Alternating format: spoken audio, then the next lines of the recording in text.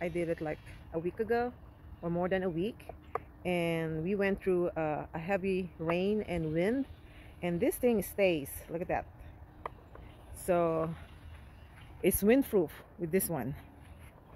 The the only thing that I didn't like it it's some of them are they died. Some survived see there's still some already flowering but some of them they died. But not a lot so over there that's what I said I'm going to change it because it's wobbly but uh,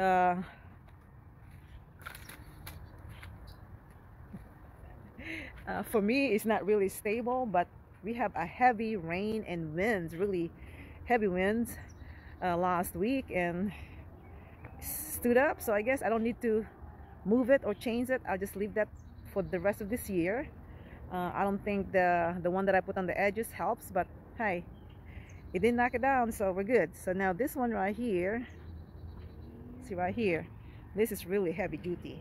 So I will stack the the remaining of the trays that I have in there. So so far so good on my stackable. Last year is awful. They all fall tumbling down. So as you can see I have a big hole in here hide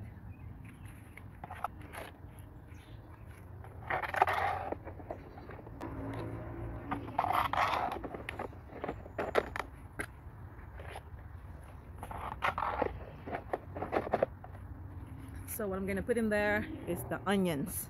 I bought another sets of onion sets. I cannot get enough of onion sets.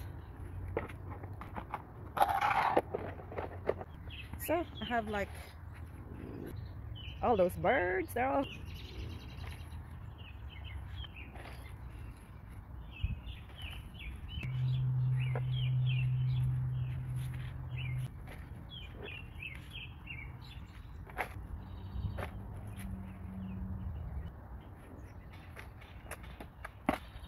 So I'm gonna go ahead and put fertilizer on my uh, on my stackable before I put the, the onions.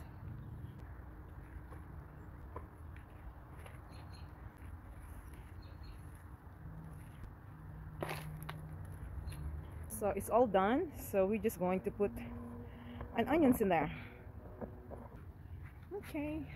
I have this right here. These are onion sets. So right now I'm just to squeeze them probably three or four each one of them once they start growing and then I will I will put another set which is two if you can see that right there that's a post right there so that's another one and I'm gonna uh, I'm gonna have the rest of this thing over there because I know it's gonna be too much for this for this for all of for all of this for this stackable. Oh my goodness. All right then so once they grow then I will thin them out and put them in a, in another place.